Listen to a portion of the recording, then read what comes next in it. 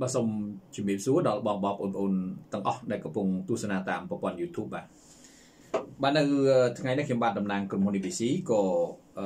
មានប្រធានបទមួយទៀតលើកយកមកជំរាបជូនផ្ដល់ជាចំណេះដឹងផ្នែកខាងសុខភាពបាទហើយប្រធានបទនៅពេលនេះនិយាយអំពីជំងឺគៀបសរសៃចង្កេះបាទជំងឺជាប់សរសៃចង្កេះឬក៏គៀបសរសៃចង្កេះភាសាអង់គ្លេសហៅថា sciatica ណា sciatica ហ្នឹងគឺជាប្រភេទជំងឺដែលគៀបជាប់សរសៃចង្កេះប៉ុន្តែមុននឹងចូលទៅដល់ប្រធានបទក៏សូមជម្រាបជូនដែលថាកម្មវិធីពន្លឺសុខភាពបាទកម្មវិធីពន្លឺសុខភាពជាកម្មវិធីផ្ដល់ចំណេះដឹងឲ្យបងបងប្អូនបានយល់បានស្វែងតាក់ទងទៅនឹងបញ្ហាសុខភាព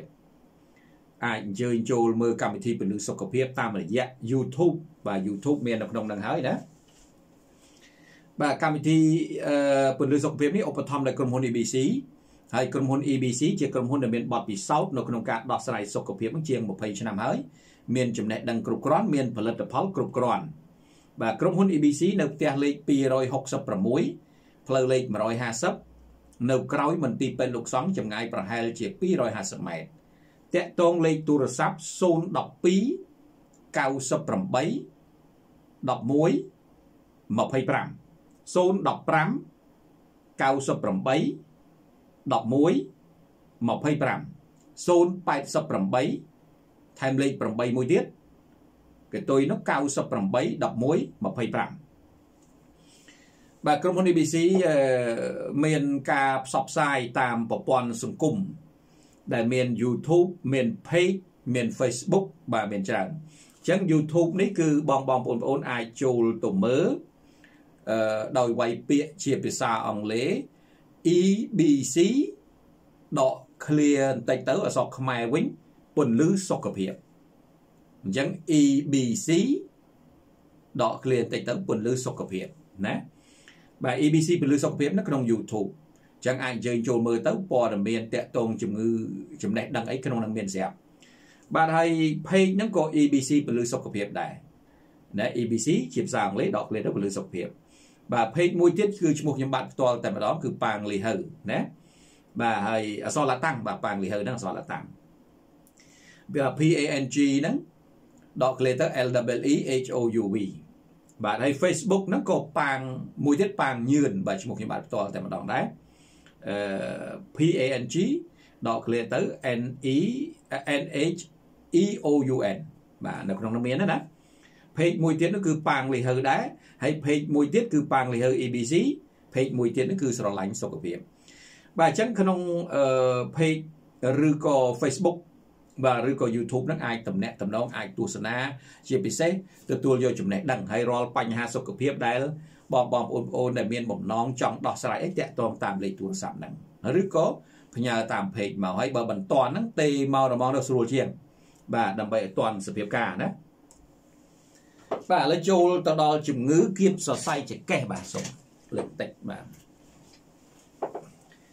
ជំងឺគៀបសរសៃចង្កេះដែលយើងហៅថាសៃតិខាហ្នឹងណា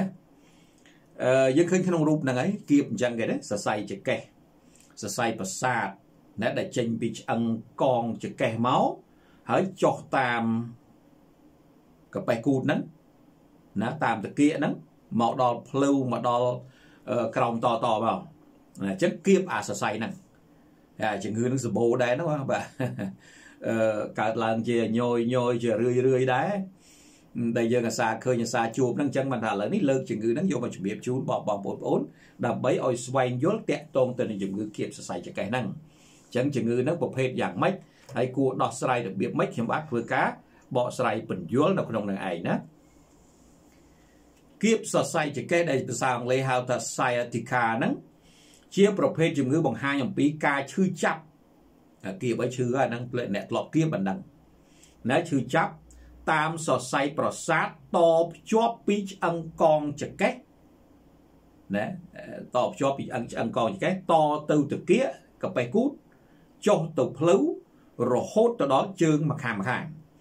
បាទអានឹងឈឺឈឺអាហ្នឹងឈឺឈឺតអញ្ចឹងមកណា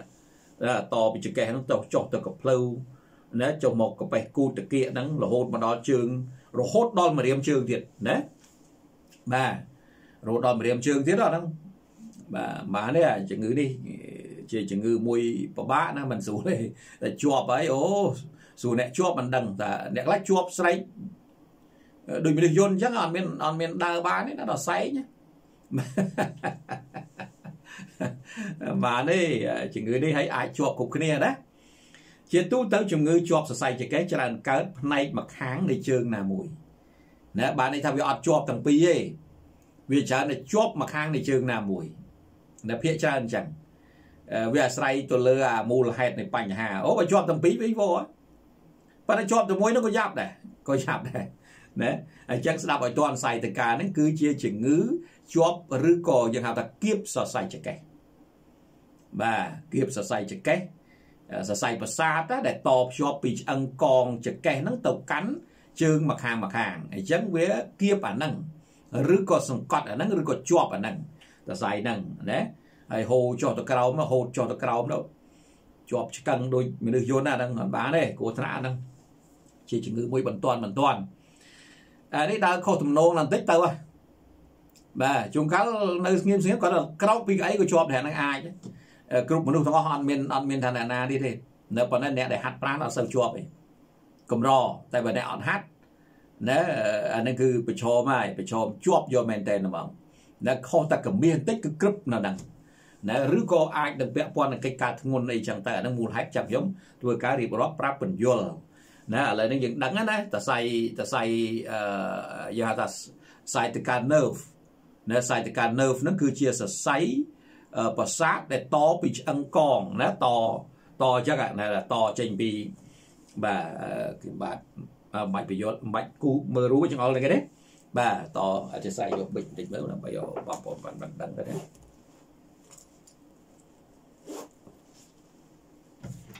បាទតអញ្ចឹងគេទេតចេញពីហ្នឹងមកចូលកបែគូតមកមកក្រោមរហូតដល់ជើងទាំងសងខាងតសៃហ្នឹងណាបាទហើយអាហ្នឹង តទៅដល់នោះអាមរៀមជើងណាតដល់មរៀមជើងអញ្ចឹងហើយបានតាមបានទេជំងឺនេះគឺជាជំងឺមួយដែលពិបាកដែរហ្នឹងណាมันស្រួលប្រហែលទេកាលណាជាប់អាហ្នឹងហើយបើដោះស្រាយអត់ចេញទេអាហ្នឹងអាចបញ្ហាដែរណាបាទអញ្ចឹងឥឡូវគឺបញ្យលជូនណាគឺរូបភាពឃើញស្រាប់ហើយនៅក្នុងហ្នឹងនិយាយពីរោគសញ្ញារោគសញ្ញាហ្នឹងមួយយ៉ាងម៉េចរោគសញ្ញាគៀបសរសៃចង្កេះឬក៏ជាប់សរសៃចង្កេះ ឈឺពីមធ្យមទៅខ្លាំងណាដំបងតិចតិចឬក៏ឈឺគប់យកហ្មងក៏មានដែរបាទរៀលចុះតាមកប៉េះគូតចុះទៅជើងម្ខាង បាទឈឺអញ្ចឹងឈឺឈឺរៀលទៅម្ខាងណាហើយឈឺពីពីមធ្យមទៅខ្លាំងទៅខ្លាំងទៅណារៀលចុះរៀលចុះចាក់មករហូតចឹងទៅក្រោមទៅបាទពេលខ្លះកម្រើកញោចកម្រើកញោចអានឹងចាក់ជាប់ដូច ដូចគេយកស្អីមកជុងជាប់ចឹងណាតសៃចឹងគេទេតសៃចឹងបាទបាទនេះតសៃពីកប៉ែគូតហ្នឹងនេះឆ្អឹងកងអញ្ចឹងអាហ្នឹងតមកក្រោមសងខាងអញ្ចឹងបើតែភាកច្រើនវាជាប់នៅនៅផ្នែកណាមួយទេវាមិនទាំងពីរទេភាកច្រើនហ្មងព្រោះវាអត់ទៅទាំងពីរកើតទេលើកលែងតែតលពាក់ព័ន្ធនឹងស្រុញឌីសទាំងពីរហ្នឹងអាហ្នឹងមិនទៅបានបានទៅអញ្ចឹងជាប់មិនជាប់ដោយមូលហេតុអីអាហ្នឹងយើងចាំយល់អីទៅទៀតអញ្ចឹងឈឺណា បាទឈឺជាមធ្យមពីមធ្យមទៅខ្លាំងហើយរៀលចុះទៅក្រោមតាមកប៉េះគូតទៅតាគៀកចុះទៅជើងម្ខាងហ្នឹងស្ពឹកណាឬខ្សោយនៅផ្នែកខាងក្រោមចង្កេះមានកប៉េះគូតផ្លូវជើងអានេះកាលណាកាលណាជាប់យូរទៅវាខ្សោយបើវាប៉ះសរសៃប្រសាទឆ្អឹងកងហ្នឹងដល់អញ្ចឹងវាវាធ្វើឲ្យស្ពឹកស្ពឹកមកមកចឹងមកចំហៀងអញ្ចឹងទៅអាចឆ្វេងអាចស្ដាំអញ្ចឹងទៅ បាទអញ្ចឹងធ្វើចលនាបានជើងមកខាងហើយជើងមកខាងទប់ទម្ងន់ខ្លួនមិនបានណាជើងទាំងពីរទប់មិនចង់បានផងមកជើងមកខាងទប់យ៉ាប់ដល់អញ្ចឹងទៅយូរស្ពឹកស្ពឹកឲ្យខ្សោយជើងនឹងបដ ாய் ណាបាទនឹងចឹងអានេះជាសញ្ញាដែលយើងគួរតែយល់ណាហើយវាក្តៅវាកាហាយវាឈឺអញ្ចឹងទៅបាទទៅតាមភាពធ្ងន់ស្រាលនៃជំងឺហ្នឹង ណាប៉ុន្តែដឹងអញ្ចឹងហើយតែចាក់ឈឺចាក់ពីចង្កេះទៅក្រោមអាហ្នឹងហើយជំងឺហ្នឹងអត់ពិបាកយល់ទេបាទអាមួយទៀតឈឺចាក់នៅចង្កេះវាអត់ទៅក្រោមទេអាហ្នឹងរឿងផ្សេងរឿងពុកឆ្អឹងស្ពូតឆ្អឹងចង្កេះអីយ៉ាងណាអាហ្នឹងរឿងឆ្អឹងកងឬក៏ស្រុញឌីសអីយ៉ាងណាណាអាហ្នឹងរឿងផ្សេងដែលអត់ចាក់ទៅក្រោមប៉ុន្តែបើចាក់ទៅក្រោមអាហ្នឹងនេះហើយប៉ុន្តែជំងឺហ្នឹងវាពាក់ព័ន្ធគ្រាដែរពេលខ្លះតកាលណាមានអាហ្នឹងយូរជាប់អាចអាចកេះហ្នឹងក៏មានដែរណែវាពាក់ព័ន្ធគ្នាអញ្ចឹងណា អញ្ចឹងបាទយើងគួរតែស្វែងយល់ដែរអញ្ចឹងស្ពឹកខ្សោយផ្នែកមកខាងក្រោមជាកេះឬក៏មានកប៉េះគូទៅផ្លូវណាបាទឈឺចាប់កាន់តែធ្ងន់បើមានចលនាអាហ្នឹងបាទបើបើសិនតែវាធ្ងន់ហ្មងអត់បានទេធ្វើចលនាឈឺចលនាឈឺមានន័យថាអត់អត់បានតគេសែងសែងនឹងក៏ចាប់ទៅទៀតសែងនឹងក៏ឈឺនិយាយតែកម្រិតឈឺអានឹងចូលដល់កម្រិតធ្ងន់ណា វាមានកម្រិតវាកម្រិតស្រាលកម្រិតធ្ងន់បាទហើយអាហ្នឹងបាត់បង់ចលនាដើរលេងរួចណាចូលដល់កម្រិតហ្នឹងក៏មានដែរច្រកច្រើនគ្រាខ្ញុំជួបបាទតម្រាំតែវាជាវិញហ្នឹងអូបាទពិបាកណាស់ហើយជំងឺនេះណាមិនស្រួលទេជំងឺនេះជំងឺបន្ទាន់បន្ទាន់ហើយបើអ្នកខ្លះគាត់គាត់ចង់និយាយថាបើទោះបីថាវិជាហើយនៅតែចាក់អញ្ចឹងគ្រាន់តែថាវាមិនខ្លាំង គ្រាន់តែចាក់រំខានយើងរហូតអាហ្នឹងគ្រាន់វាមិនខ្លាំងអញ្ចឹងណាហើយបើសិននៅក្នុងករណីធ្ងន់ធ្ងរដល់កម្រិតធ្ងន់ហើយអាហ្នឹងគឺត្រូវដោះស្រាយតាមវិជាពេទ្យ surgery អីទៀតណាបាទធ្វើការវះកាត់អីហូហែទៀតអាហ្នឹងច្រើនរឿងបាទប៉ុន្តែយើងមួយមួយឥឡូវឈឺចាប់កាន់តែធ្ងន់បើបើមានចលនាបានបើយើងកម្រើកឈឺកាន់តែខ្លាំងបើអត់កម្រើកអត់អីតែបើកម្រើកឈឺកាន់តែខ្លាំងអានេះចូលដល់ជាប់ខ្លាំងហើយ ប៉ះខ្លាំងមែនតើសរសៃហ្នឹងមិនមែនតែស្កត់ខ្លាំងមិនតែស្កត់តិចតួចស្កត់ខ្លាំងហ่ะឬក៏បាត់បង់ចលនាបាទដល់យូរទៅស្ពឹកស្ពឹកក៏លែងចលនាលែងកើតបាទអានឹងអាចទៅប៉ះពាល់តែជើងមួយខាងណាមួយហ្នឹងរហូតទៅដល់បើសិនវាជាប់ខ្លាំងយកមែនទៅយូរខែឆ្នាំអាចស្វិតជើងនឹងទៀតក៏មានដែរបាទហ្នឹងហ្នឹងចង់បញ្យល់ជូនបងបងប្អូនបានជ្រាបណាបាទអញ្ចឹងនេះជាសញ្ញាដែលពាក់ព័ន្ធទៅនឹងទៅនឹងឈឺហ្នឹងហើយឈឺហ្នឹងចេះទៀត ជួនកាលផ្នែកណាមួយនៃនៃនៃពីនេះពីពីពីឆ្អឹងពីពីឆ្អឹងកងណាបាទពីឆ្អឹងកងចកេះហ្នឹងទៅជួនកាលវាឈឺកន្លែងណាមួយខ្លាំងជាងក៏មែនដែរជួនកាលឈឺនៅកពួនជើងនោះជាប់នៅកពួនជើងជួនកាលនៅម្រាមជើងវាទៅដល់នោះណែទៅដល់នឹងរូចជួនកាលនៅផ្លូវជួនកាលនៅតាគៀដែលវាញូចតាណាជាងគេអាស្រ័យទៅលើអាស្ថានភាពនៃបញ្ហាណាបាទជួនកាលកម្រើកម្រាមជើងអត់បានក៏មាន ជួនកាលម្រាមជើងកម្រើកបានបើជាប់នៅកផ្លូវក៏មានបាទប៉ុន្តែអ្វីអ្វីទាំងអស់គឺមកពីលើនឹងទាំងអស់ដែលវារៀលទៅក្រោមនឹងហើយបើជាប់យូរទៅក្តៅនៅហ្នឹងដែលស្ពឹកក្តៅស្ពឹកក្តៅនឹងយូរទៅស្វិតជើងនឹងក៏មានដែរបាទមានអារម្មណ៍ឈឺចាប់ចាក់ជាប់នៅនឹងជើងប្រអប់ជើងឬក៏ម្រាមជើងបាទមានអារម្មណ៍ឈឺចាក់ជាប់ហ្នឹងដូចគេយកមជុលមកខ្ទាស់ជាប់អត់ឲ្យរើរួចណា ញូចញូចយ៉ាងហ្នឹងអញ្ចឹងបាទញូចញូចណែអញ្ចឹងហើយបានបងបងប្អូនគួរតែ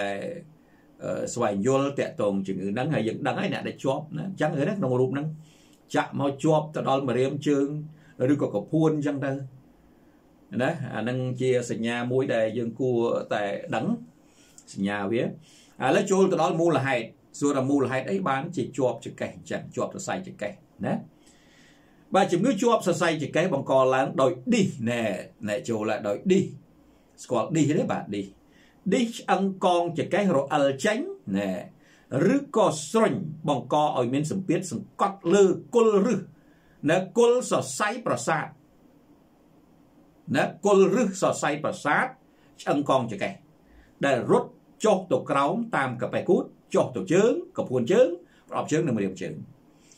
បាទវាឌីសហ្នឹងវាវាស្រុញវាស្រុញវាសង្កត់ណាអូម៉ាឌីសឌីសវាអញ្ចឹងអាអាឆ្អឹងកងនៅវានៅលើអញ្ចឹងឆ្អឹងកងវានៅក្រោមនេះផងនៅលើនេះផងឃើញទេដល់វាសង្កត់ទៅវាវាលយចេញណាដល់លយចេញល្អិលចេញដល់ល្អិលចេញវាប៉ះអាសរសៃណាសរសៃប្រសាទវានៅអបសងខាងអញ្ចឹងអញ្ចឹងយើងអាចឃើញក្នុងរូបនេះឃើញទេ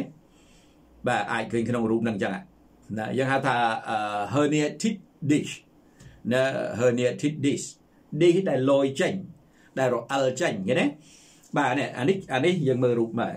ចង្អុលទៅនេះស្រួលឃើញទេអានេះឌីសអានេះឆ្អឹងឆ្អឹងកងឆ្អឹងកងអានេះឌីសអញ្ចឹងឌីសហ្នឹងវាលយដោយសារសម្ពាធសង្កត់ដូចយើងលើកធ្ងន់ហ្នឹងណាលើកធ្ងន់នៃអញ្ចឹងទៅវាស្រញអាហ្នឹងចូលមកបាទវាសង្កត់ទៅលៀនអាឌីសហ្នឹងចេញមកលៀនអាឌីសចេញមកប៉ះចំតសៃប្រសាទនេះយើងមើលនេះនេះនេះតសៃនេះមួយនេះនេះតសៃនេះគេ ទេតសៃនេះមួយអញ្ចឹងឌីសហ្នឹងលៀនមកសង្កត់អាហ្នឹងបដ ாய்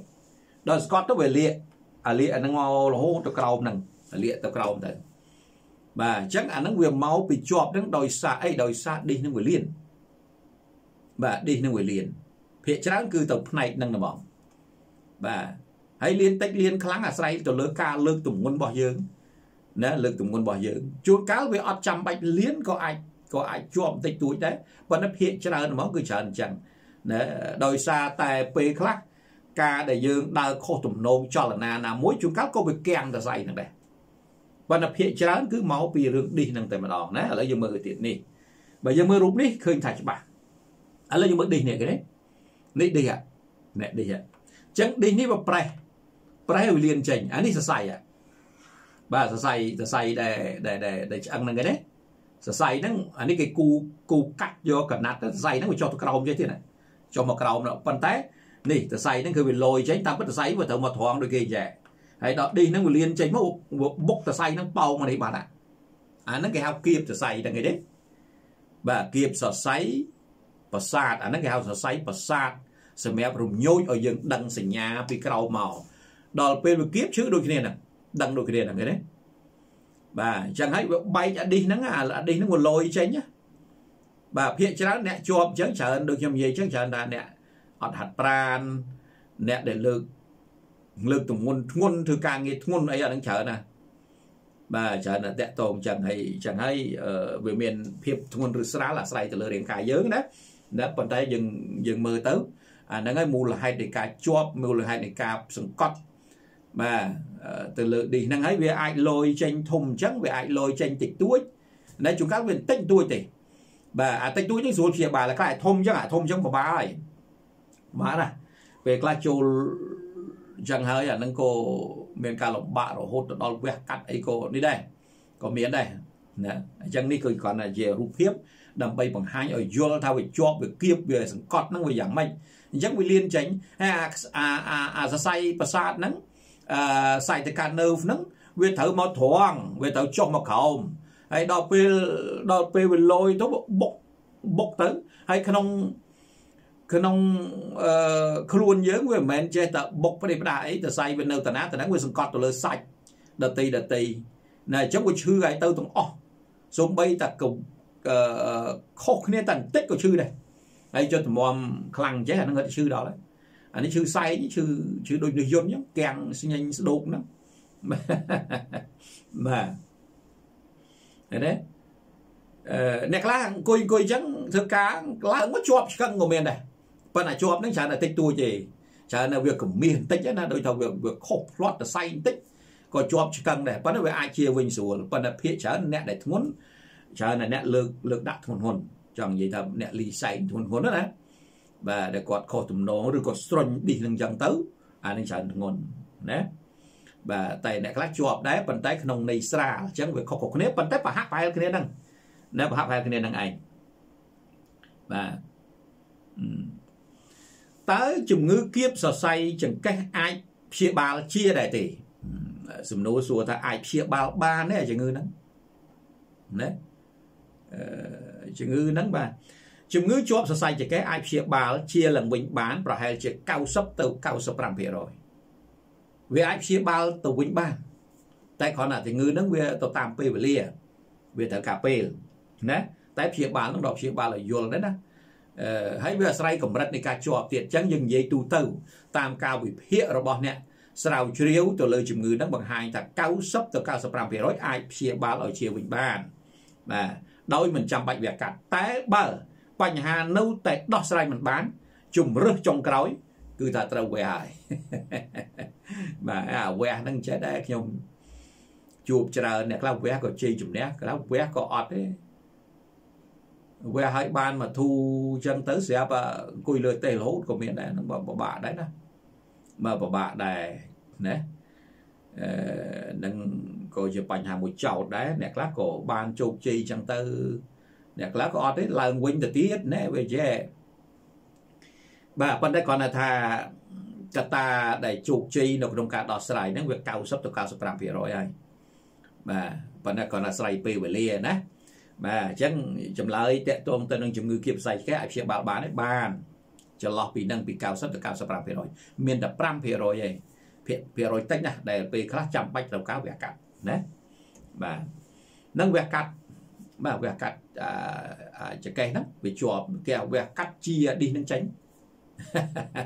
បាទត្រូវការជាឌីសនឹងចេញណាត្រូវការវះកាត់ចឹងឯងណាកោះឌីសនឹងចេញបើមិនចឹងទេអត់បានទេបាទឌីសនឹងវាលៀនមករបៀបព្យាបាលគៀបសរសៃចកេះហើយហើយសួរសួរថាចុះឥឡូវព្យាបាលរបៀបម៉េចអាអាគៀបសរសៃចកេះហ្នឹងតើត្រូវព្យាបាលរបៀបម៉េចអឺចាំបាច់ត្រូវប្រើថ្នាំហើយជំងឺហ្នឹងគឺអត់អត់បានទេអឺថ្នាំត្រូវប្រើ ណាថ្នាំថ្នាំបំបត្តិការឈឺចាប់ទាំងដបងចំអញ្ចឹងត្រូវប្រើហើយពីព្រោះហេតុអីបានអញ្ចឹងពីព្រោះវាឈឺបើមិនប្រើបាញ់បានប៉ុន្តែសួរថាប្រើថ្នាំគ្រប់ទេអត់តន់គ្រប់ទេអត់គ្រប់ទេត្រូវអនុវត្តគោលការណ៍ច្រើនណាស់អ្នកខ្លះក៏ទទួលលទ្ធផលជានឹងលឿនអញ្ចឹងទៅអ្នកខ្លះក៏យឺតចឹងមកប៉ុន្តែលឿនយ៉ាងណាក៏ដោយក៏មិនទាន់ចិត្តយើងដែរណាយ៉ាងតិចក៏ចូលលេខ3 2 3សប្តាហ៍ឬក៏4 5សប្តាហ៍អីដែរណាអាចទៅអញ្ចឹង ណានៅក្នុងករណីវាព្យាបាលភ្លាមភ្លាមណាលើកលែងអ្នកខ្លះជាប់យូរជាប់កាន់ខែកាន់ឆ្នាំអានឹងរឿងផ្សេងទៅទៀតណាជាប់បន្តិចបន្តិចអញ្ចឹងទៅ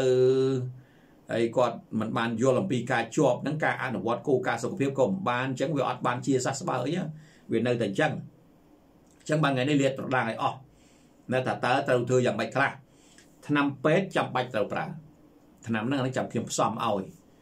ណាត្រូវការដោះស្រាយជើញមកខ្ញុំផ្សំឲ្យទាំងថ្នាំពេទ្យប៉ុន្តែសួរថាប្រើតែថ្នាំពេទ្យគ្រប់ទេអត់គ្រប់ទេជំងឺនោះអត់គ្រប់ទេទី2ត្រូវប្រើប្រាស់ផលិតផល ជាចាំបាច់បងជាចាំបាច់ខាងអត់បានទេហេតុអីបានជាចាំបាច់ពីព្រោះវាជួយសម្រួលសរសៃនឹងឡើងវិញជាពិសេសក្រុមវីតាមីន B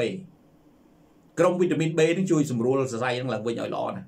អានឹងក្នុងក្នុងករណីយើងនិយាយថាកម្រិតស្រាលជាប់បន្តិចតួចណា បើសិនជាប់ធ្ងន់ក៏អត់បានដែរស្អីក៏ទប់លេងរួចដែរណាបើថ្នាំក៏ទប់មិនបានអាផលិតផលក៏ទប់លេងកើតអានឹងចង់ចូលអា5%ហ្នឹងចូលអា5%ដែលលើកមិញហ្នឹងណាអានឹងទាល់តែឡើងជ្រុញវះចោលវះចេញណាបាទអញ្ចឹងអានេះខ្ញុំយើងនិយាយគោលការណ៍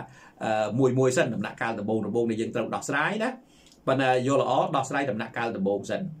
មុននឹងសម្រាប់ចិត្តធ្វើការវះអីអានឹងតាមក្រោយ បើថាដោះស្រាយអត់ចេញចាំគិតតទៀតប៉ុន្តែដោះស្រាយផ្លូវអឺដែលយើងត្រូវធ្វើគឺផ្លូវនឹងឯងអត់មានផ្លូវក្រៅពីនឹងទេបាទទី1ប្រើឱសថចាំបាច់ហើយពិបាកទៀតពិបាកដល់ថាពេលខ្លះអ្នកជំងឺគាត់មានអាបញ្ហាកាពះអាហ្នឹងក៏ជាបញ្ហាចោតមួយដែរអញ្ចឹងយើងត្រូវដោះស្រាយរឿងកាពះនឹងទៀតត្រូវទប់ជាមួយនឹងបាទអាហ្នឹងគឺខាងខ្ញុំបាទនឹងចាត់ចែងជូននៅអត់បារម្ភទេណាបើសិនជាជាប់សរសៃជាប់អីជើញមកគ្រោះចោះតាមទូរស័ព្ទអីបាន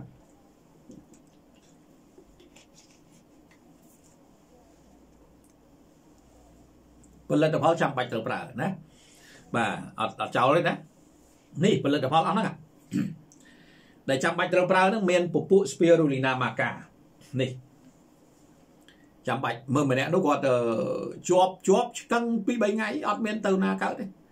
នៅខាងកំពង់ត្រាចដែលតាមខ្ញុំកិច្ចធ្វើកិច្ចសម្ភារផ្ទាល់ជាមួយគាត់ណាជាប់គាត់រុញជ្រូកដល់រុញជ្រូកទៅគាត់អាចជ្រូករត់រត់ទៅ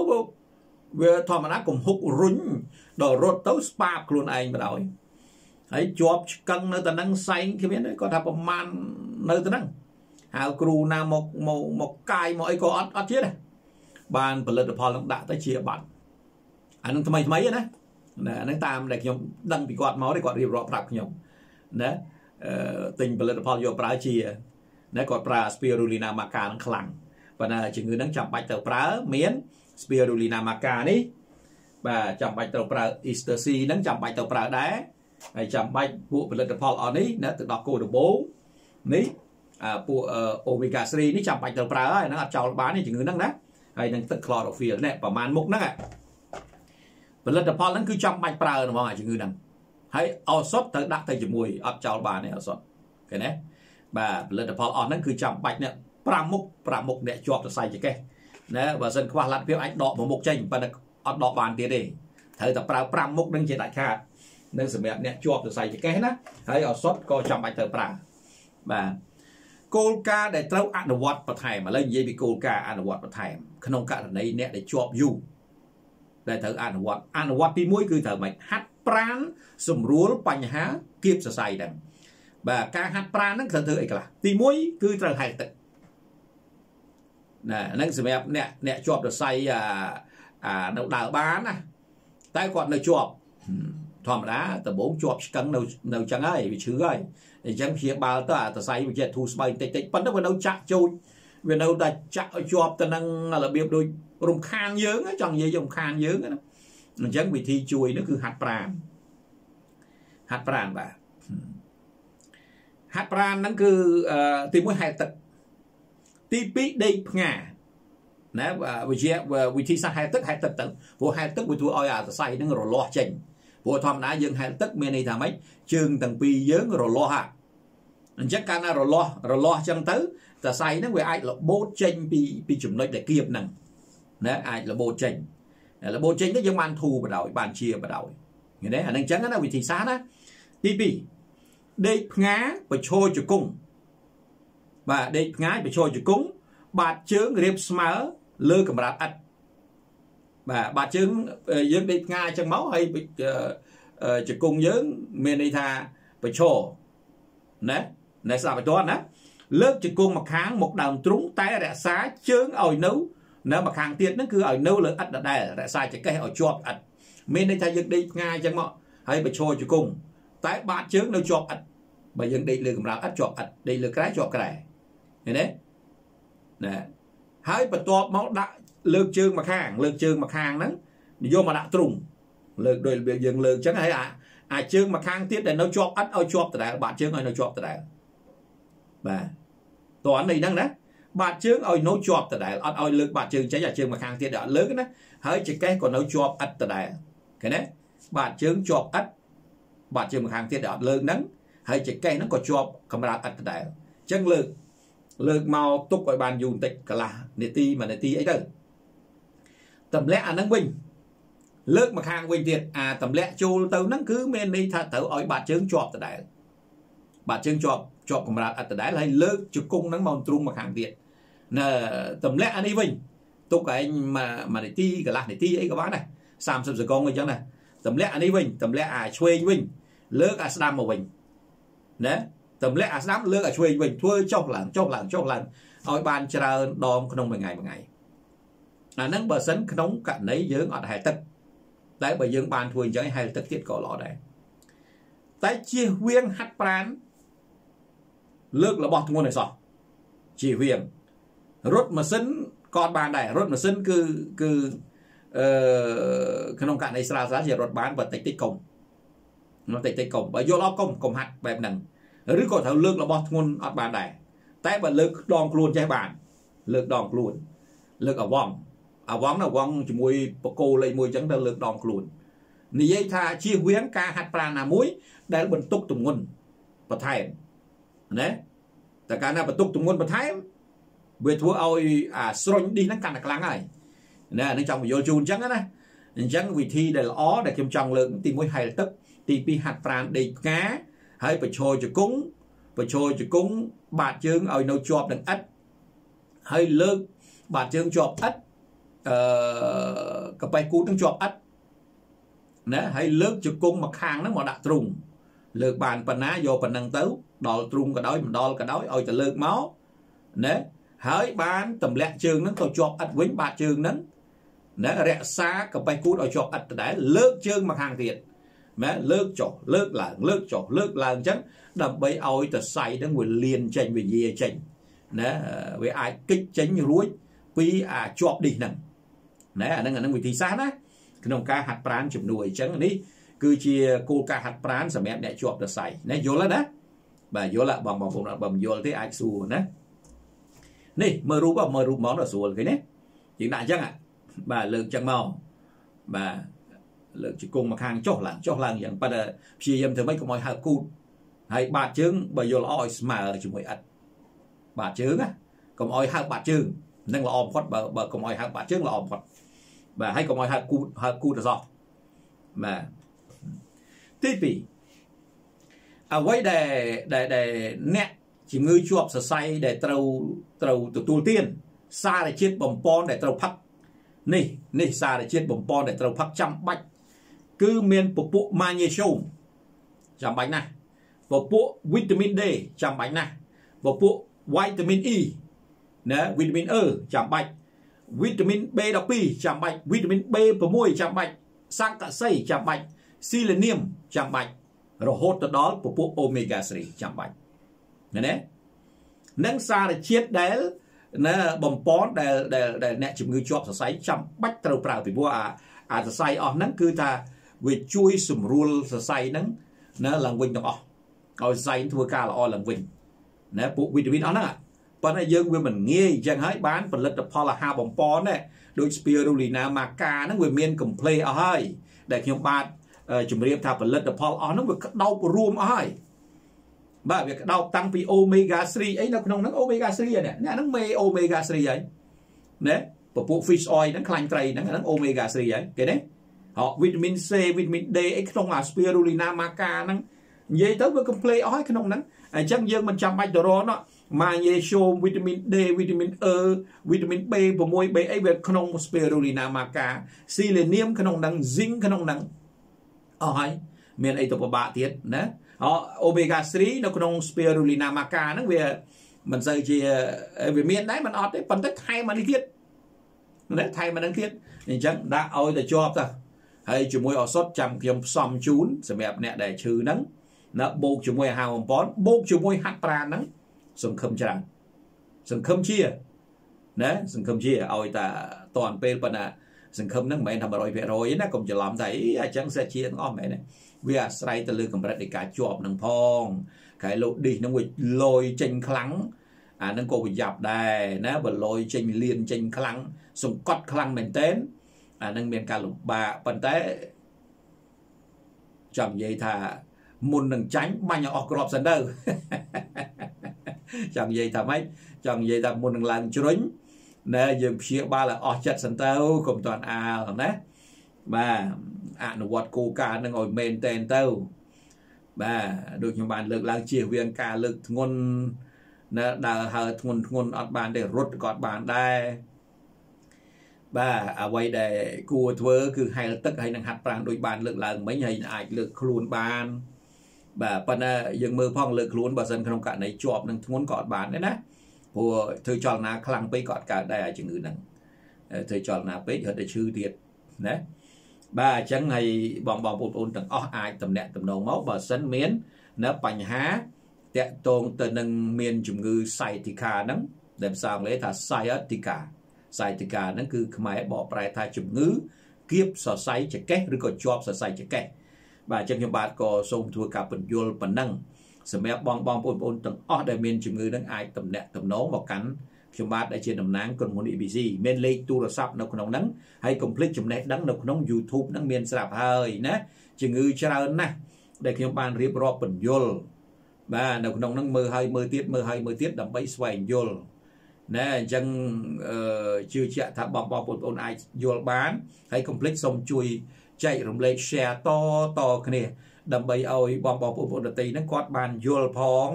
ថាជំងឺនឹងយ៉ាងម៉េចត្រូវអនុវត្តគោលការណ៍របៀបម៉េចពេលខ្លះគ្នាមិនដឹងមិនដឹងច្រើនណាបាទមិនដឹងច្រើនណាអ្នកខ្លះរហូតទៅដល់ភ័យផិតពីរឿងអាហារបំពន់នឹងទៀតអាហារបំពន់នឹងល្អណាស់ណាមនុស្សខ្លះដោយសារការបំភ័យ ពីអ្នកដែលមិនចេះដឹងណាអញ្ចឹងរហូតទៅដល់ជួបប្រទេសរបស់ល្អហើយក៏សម្រេចចិត្តមិនប្រើទៀតក៏មានដែរក៏អញ្ចឹងហើយបានដល់ពេលខ្លះដែលយើងគិតចុះឡើងវាអាស្រ័យទៅលើប្រេងសំណាងរបស់មនុស្សម្នាក់ម្នាក់អ្នកខ្លះចង់ប្រើតែអត់បានប្រើដោយសារមានការជំទាស់គួយស្ដាយខ្ញុំខ្ញុំគួយគិតថាគិតទៅមនុស្សយើងវានិយាយដោយខ្លីហ្មងសរុបរួមថាវា វាជាកម្មផងបើពេលខ្លះជាប្រេងផងជាកម្មផងបើមនុស្សយើងម្នាក់វាមានកម្មខុសៗគ្នាអញ្ចឹងអំពើសាងមកអញ្ចឹងបានតែយើងការជួយឲ្យមនុស្សជា ការជួយផ្ដល់ព័ត៌មានវាជាអំពើល្អដល់អញ្ចឹងទៅយើងក៏ទទួលបាននូវភាពល្អមកវិញណាប៉ុន្តែកុំភ្លេចថាកម្មអំពើហ្នឹងដែលយើងប្រឹងចង់បានកម្មល្អតើយើងសាងល្អផងណាសាងល្អយ៉ាងម៉េចសាងល្អជួយអ្នកដតីឬក៏ អាចថាប្រឹងប្រែងរៀនសូត្រខ្លួនឯងឲ្យចេះពីព្រោះបើយើងស្ដាប់អ្នកដតីអ្នកខ្លះក៏គេឲ្យយោបល់ល្អអ្នកខ្លះមិនមែនបំណងល្អទេបំណងមិនល្អចំពោះយើងទៅវិញនៅវាចេះអញ្ចឹងហើយបានអានឹងតើយើងស្វែងយល់ឲ្យស៊ីជម្រៅដែលខ្ញុំមានបទពិសោធន៍ច្រើនមកណាបាទស្ដាយនៅដែលរបស់ល្អហើយអ្នកខ្លះអាចអាផលិតផលក៏ចំគោលដៅដែលត្រូវដោះស្រាយតែគាត់វាបាត់បង់ជំនឿដោយសារតែ ភាពអវិជ្ជមានពីខាងក្រៅណាមួយនោះ ដែលគាត់អត់បានស្វែងយល់តែអញ្ចឹងទៅគាត់គាត់អត់ទទួលយកអានោះវាស្ដាយដែរណាប៉ុន្តែមិនដឹងធ្វើមកជួយកើតទេបើក្រៅពីយើងដែលត្រូវសិក្សាខ្លួនឯងយល់ខ្លួនឯងហ្នឹងគ្មានអីជួយកើតក្រៅពីហ្នឹងណាតែចំពោះខ្ញុំដែលជាអ្នកយល់ដឹងព្យាបាលរាប់ឆ្នាំមក20ឆ្នាំជាងហើយនេះនៅខ្ញុំយល់ថាជំងឺភាគច្រើនហ្នឹងគឺថាយើងអាចដោះស្រាយតាមរយៈការប្រើប្រាស់ បាទផលិតផលដូចបានលើកឡើងអញ្ចឹងហើយជាពិសេសអឺបើសិនចាំបាច់ត្រូវប្រើឱសថអាហ្នឹងយើងអមទៅជាមួយអត់មានជំទាស់ផ្នែកណាទេបាទហើយអញ្ចឹងអាអាដូចជំងឺអញ្ចឹងអញ្ចឹងទៅតែប្រើឱសថហ្នឹងអត់អត់គិតបានទេព្រោះវាឈឺវាឈឺប្រើឱសថប្រើអីទៅពួកអាពួកផលិតផលអត់មិនមែនទៅបាត់ឈឺចាប់អីវាទៅព្យាបាលម្ដងតិចម្ដងតិចតាតែអញ្ចឹងបានតែយើងបត់បែនតាមកលៈទេសៈមិនមែនប្រកាន់ខ្ជាប់នៅចំណុចណាមួយនោះទេបត់បែនអានឹងមិនបានណា បាទអញ្ចឹងសូមអរគុណច្រើនហើយសូមជួយចែករំលែកព័ត៌មាននេះតតគ្នាផងជួយ share វីដេអូតតគ្នាសូមអរគុណសូមជម្រាបលាជួបគ្នានៅប្រធានបទក្រោយៗទៀតបាទ